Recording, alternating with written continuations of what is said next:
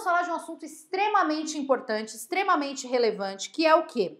Que é a introdução da sua redação. Só pra gente, só pra gente contextualizar. Qual que é o objetivo dessa aula? O que, que eu posso garantir para você? Que terminando essa aula, você vai saber, primeira coisa, o que, que não pode faltar na sua introdução.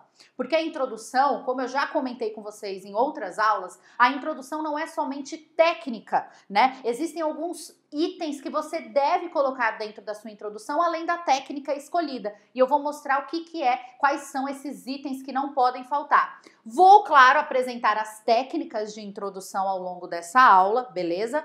E vou trazer para você o quê? Modelos prontos para você se inspirar, para você criar o seu, para você entender. Ah, eu posso fazer desse jeito, eu posso mudar aqui. Eu já vou trazer ó, um modelo base para você. Ó, Ô, Roger, se falar que o meu coração não é bom, eu não sei de quem que é, pode. O coração bom dessa mulher. Eu sou uma pessoa de coração bom, eu. Olha só, gente, bora conversar aqui sobre a nossa, o nosso assunto da aula, que é técnicas, que são as técnicas de introdução, né? E também os modelos prontos que eu vou trazer para você. Ó, não fique preocupado, porque eu vou colocar um parágrafo escrito na tela para vocês, mas eu vou colocar bem grandão para que você consiga dar o print, para que você consiga tirar uma foto e ter ele como modelo base. Não vai ficar aparecendo só na tela não, a gente vai colocar bem grandão para que fique uma boa leitura, tá bom? Fique tranquilo. Vamos lá. Primeira coisa, quando eu falo de técnicas de introdução, os alunos ficam, me dá técnica, professor, me dá técnica, eu quero saber a técnica, eu preciso da técnica, dê-me técnicas. Calma, criatura. Porque a introdução não é só a técnica de introdução. Na introdução, você tem que ter a técnica escolhida, mas você tem que ter consciência que na introdução você, além de apresentar, além de apresentar o tema ao leitor, Dentro da introdução, você tem que apresentar a tese. Vamos só relembrar a tese. A tese é o seu ponto de vista em relação ao problema apresentado na redação.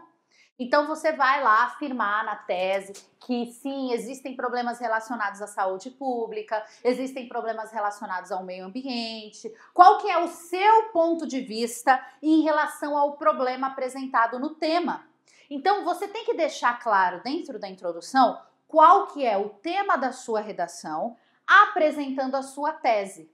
As técnicas eu vou ensinar para você agora. A técnica de redação, a técnica de introdução eu vou ensinar para você. Mas você não pode esquecer que dentro da introdução você tem que deixar muito claro para o seu leitor qual que é o tema da redação. Sabe por quê? É, o que, que eu percebo muito? os alunos, quando eles iniciam a redação, parece que parte do pressuposto que o corretor ou que o leitor já sabe sobre o que você está falando. E você tem que sempre pensar o seguinte: você tem que pensar assim, ó. Pensa nisso quando você vai escrever a sua introdução, tá? Qualquer pessoa que pegar essa redação, se ela não souber o tema, ela tem que entender o tema na introdução. Então eu tenho que escrever de uma forma que qualquer pessoa leia a introdução e fale para mim qual é o tema. Então não pode começar a redação falando assim. Esse problema é, é muito comum na sociedade, pois nenhuma medida é tomada para solucioná-lo. Sendo que, que é isso, gente? Que problema? Que, o que, que é comum na sociedade? Tem tanto problema na sociedade, gente. Tem até falha de conexão na, na sociedade e, e fica trolando a gente. E tem muito problema na sociedade. Então você tem que deixar claro qual é o problema na introdução. E isso, aí sim, você vai aplicar a técnica de introdução escolhida. Apresentando comparações. Olha que legal, quando você não tem nenhuma ideia, mas você consegue fazer algum tipo de comparação na sua redação. Sei lá, por exemplo, você consegue comparar a mulher do século 21 com a mulher é, do século passado. Entendeu? Mudou muita coisa no, de como as mulheres são e como as mulheres eram, entendeu? Você pode fazer comparações sociais, você pode fazer comparações históricas, você pode fazer comparações econômica, eh, econômicas, você pode fazer comparações culturais, não é verdade? Então, é, existem diversos tipos de comparações que você pode jogar aqui na sua introdução. Eu vou mostrar uma forma de fazer. Dá uma olhada aí, vou colocar na tela para vocês.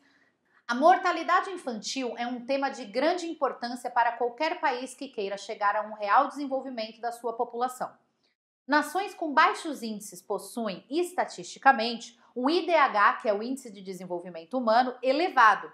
Segundo o relatório divulgado pela ONU, Organização das Nações Unidas, países desenvolvidos como Japão ou Itália possuem um índice de mortalidade infantil inferior a 2%.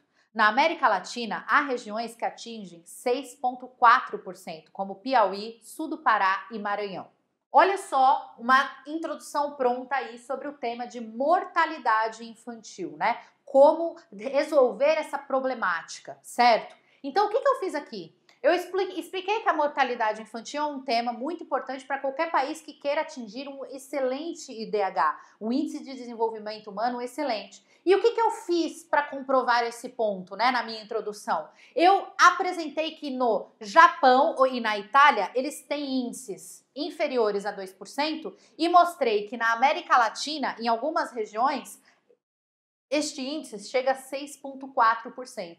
Então eu fiz uma comparação entre países, tudo bem? Então eu comparei o Japão e a Itália, né, mostrando qual, qual que é a porcentagem dessa mortalidade para eles, e mostrei aqui também na América Latina, nessas regiões, né, qual que é o índice. Fiz uma comparação e apresentei um dado estatístico também.